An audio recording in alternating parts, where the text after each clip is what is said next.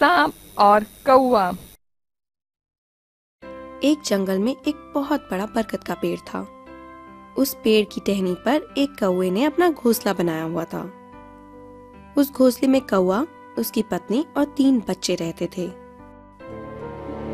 एक दिन एक लंबा सांप रेंगता हुआ बरगद के पेड़ के पास आ गया। उसने पेड़ के नीचे मैदान में एक सुराग देखा। उसने वहाँ पर अपना बिल बनाने का फैसला किया। कौवे सांप से डर गए। वे नहीं चाहते थे कि सांप उनके इतना समीप रहे। कौए की पत्नी ने कहा, हम इसके विरोध में कुछ भी नहीं कर सकते, लेकिन हमें सावधान रहना होगा। एक सुबह कौआ और कौए की पत्नी भोजन की तलाश में गए। सांप चुपचाप पेड़ के ऊपर चढ़ गया।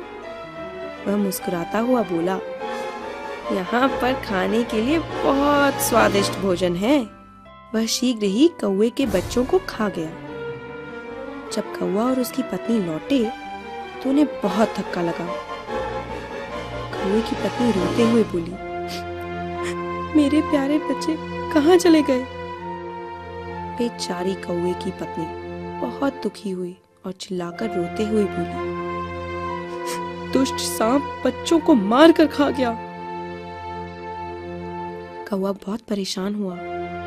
उसे बहुत गुस्सा भी आया। कौवे की पत्नी ने कहा, चलो, हम यहाँ से चलते हैं। हम किसी दूसरे पेड़ पर चलकर नया घोंसला बनाएँगे।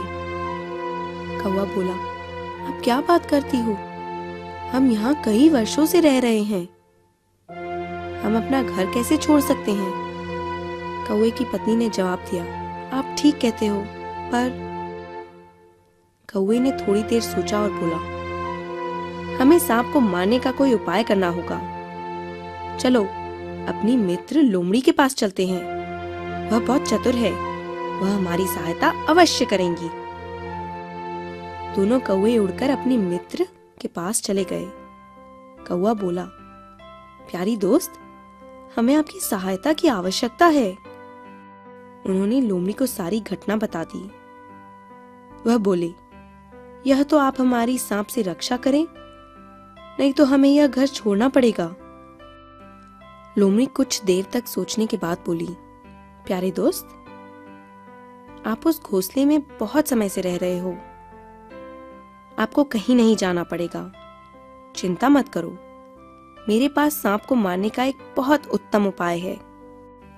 लोमड़ी ने इशारा करते हुए कहा, क्या आप सामने वह महल देख रहे हो?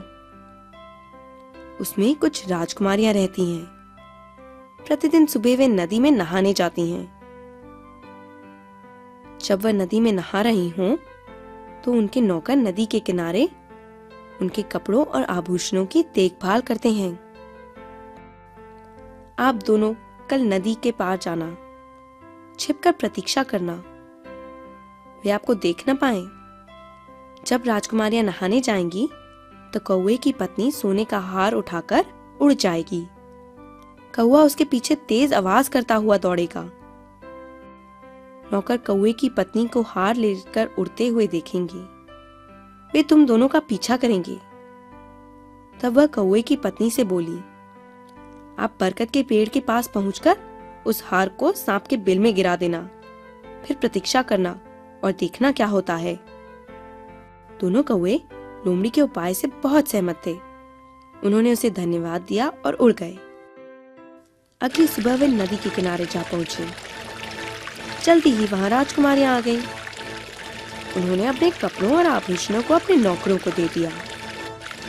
वे नदी में नहाने चली गई।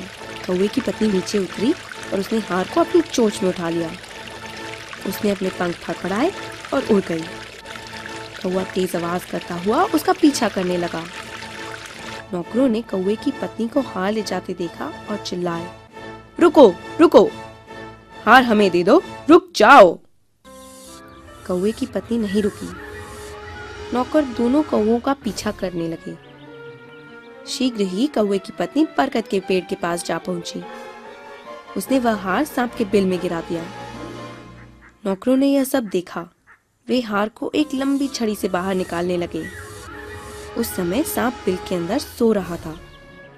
उसे बहुत गुस्सा आया। वह बाहर आ गया। नौकरों ने उसे घेर लिया था। उन्होंने सांप को लंबी छड़ी से पीटा और उसे मार डाला। फिर नौकरों ने हार उठाया और चले गए। कौआ और उसकी पत्नी बहुत खुश हुए। कौए की पत्नी ने कहा, अब हमें दुष्ट सांप से मुक्ति मिल गई। वे दोनों कई वर्षों तक अपने घोंसले में शांतिपूर्वक रहे।